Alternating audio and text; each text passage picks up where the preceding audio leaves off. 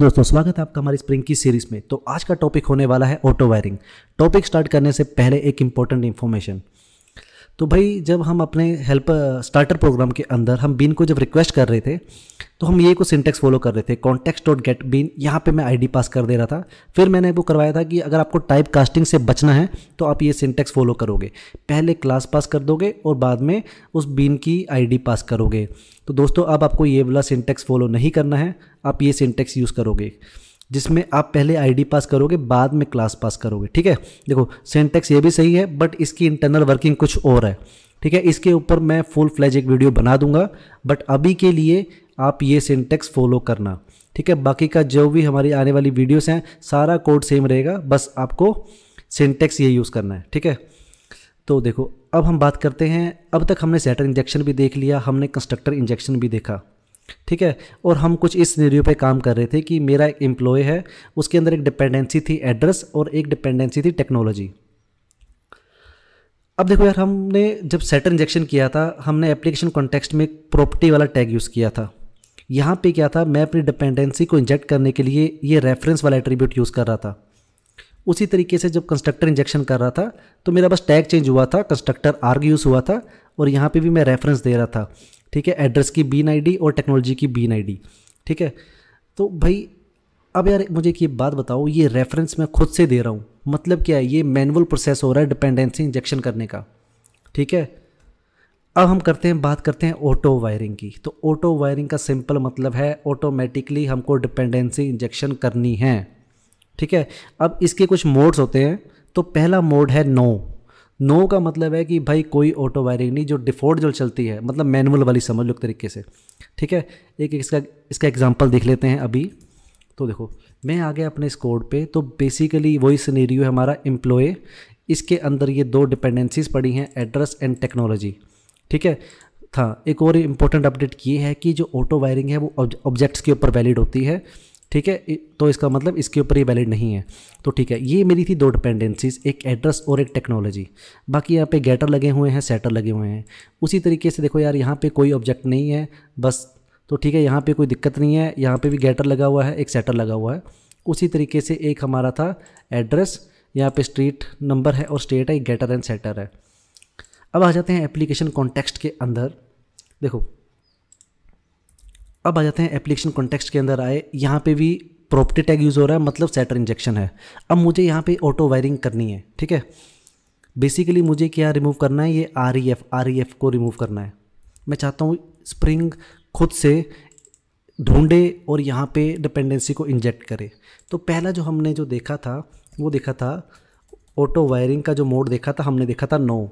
तो auto wiring कैसे start कैसे स्टार्ट करनी है? तो उसके लिए आपको जो टैग यूज़ करना है, उसका नाम है ऑटो वायर तो मैंने यहाँ पे जो एट्रीब्यूट यूज़ कर लिया, वो है ऑटो वायर यहाँ पे मैं वैल्यू पास करूँगा no first of all no no का मतलब है कि ये मैनुअली है, कोई ऑटो वायरिंग नहीं चाहिए. तो अब आपको यहाँ पे रेफरेंस रखना ही पड़ेगा. तो ठीक है, मैं आता हूँ अपने एप्लीकेशन के अंदर. एक बार इस प्रोग्राम को मैं स्टार्ट करता हूँ. तो भाई, इसने जो हमारा जैसे सेट इंजेक्शन हो रही थी, वही वाली वैल्यूज़ को प्रिंट कर दिया. चलो. तो ये वही बोल रहा है नो का मतलब है default auto wiring auto wiring mode इसका मतलब है कोई ऑटो वायरिंग नहीं होगी। अब वो, अब सेकंड आया बाय नेम तो बाय नेम क्या बोल रहा है? Injects the object dependency according to the name of bean in such case the property देखो ये लाइन बहुत इंपॉर्टेंट है property and bean name should be same ठीक है? और इंटरनली ये भी सेटर इंजेक्शन ही होती है। तो यार, इसको और इजी वर्ड में समझाता हूँ तो ये पता क्या बोल रहा है? देखो, यहाँ पे मेरी डिपेंडेंसी इंजेक्ट हो रही है है ना? डिपेंडेंसी का मैंने डिपेंडेंसी हो रही है मेरी इम्प्लॉय क्लास में, ठीक है? यहाँ पे इसका नाम क्या है? ए इसका नाम है टेक्नोलॉजी राइट तो अब देखो, यहाँ पे जब मैंने एड्रेस बना रखा है, यहाँ पे एड्रेस इसकी आईडी क्या है? इसकी है एड्रेस इसकी है टेक्नोलॉजी तो कह रहा है, भाई, ये नाम भी सेम होने चाहिए।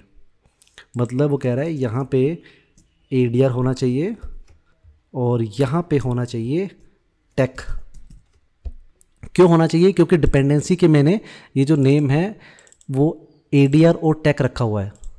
और यहाँ पे मैं कुछ और आईडी यूज़ कर रहा हूँ, ठीक है? अब इसको हम प्रूव करते हैं। तो प्रूव कैसे करते हैं? मैं यहाँ पे अभी के लिए लिखता हूँ बाय नेम मैंने यहाँ पे लिखा बाय नेम और एक बार मैं इसको रन करके दिखाता हूँ आपको। मैंने यहाँ पे रन किया, दो सेकेंड छोटी सी गलती हो गई है, देखो। अभी क्या है? ऑटोमेटिकली यहाँ से उठा ले रहा है। आर ई एफ़ लगे हुए ना? तो मेरे को इसको कमेंट करना है। ओके इसको मैंने कमेंट कर दिया। ठीक है? अब देखो भाई, कहीं मैं रेफरेंस नहीं यूज़ कर रहा हूँ ऑटोमेटिकली वायरिंग होने वाली है। ठीक है? अब इसने एरर एरर दे दिया और यहाँ पे इसने यही बोला कि भाई गेट स्ट्रीट नंबर नहीं मिल रहा है क्योंकि वो इंजेक्ट ही नहीं हुई तो मिलेगा कहाँ से? और ये नल पॉइंटर दे रहा होगा, इसने नल पॉइंटर दे दिया। देखो, अब क्या था? मैंने क्या बोला था कि भाई नेम सेम होने चाहिए। इसका नाम था ई अगर मैं इसको यहाँ पे कॉपी करके इस बीन की आईडी भी ई कर देता हूँ, उसी तरीके से टेक्नोलॉजी की भी टैग कर देता हूँ।